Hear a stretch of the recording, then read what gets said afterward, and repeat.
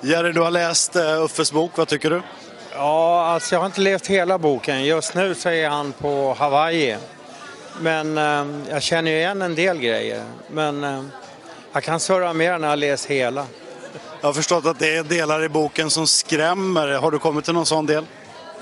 Ja, det finns ju flera. De har, de, de har betat av en del av dem. Det finns balla grejer också. Någonting som förvånar dig i boken? Ja, det är det väl. Även om jag visste... Jag visste väl en del grejer, så här, men även om man inte visste vidden av det. Så. Hur sugen är du på för att åka hem och vända fler blad? Ja, jag har nog läst klart den här imorgon. Tack. Tack.